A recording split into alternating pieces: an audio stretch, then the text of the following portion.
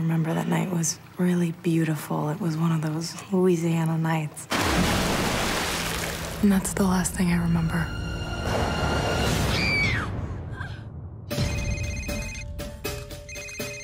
We found victim number four. He puts these weird masks on his victims. Ever see the donkey, Chaney? What is he, a cripple? You should be able to keep up with him. Are you in good shape? A couple of questions I wanted to ask you about the murder of Corey Little. Do your job.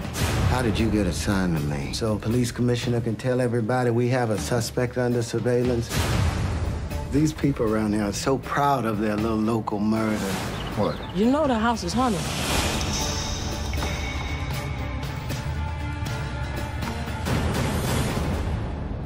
Leave me alone. You don't exist. You can hear me, you can see me. I am going crazy. Something going on in this house. Your sister, her ghost, appeared to me. The man needs psychiatric help. He talks to himself. People don't want the truth. They just want somebody to blame. But You move. You just watch the donkey and stay out of my way until we find the real killer. After I figure out who did this, you'll be free. They want your gun.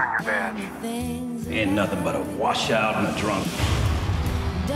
What is it that you want? You're my only hope. I can see her. She talks to me. You're playing with my feelings here. You know that. She was like a sister to me. All the world's a stage, and all the men and women mere players. They have their exits and their entrances. One man plays many parts. A man must follow his purpose. Justice is why you're here, Cheney. Justice.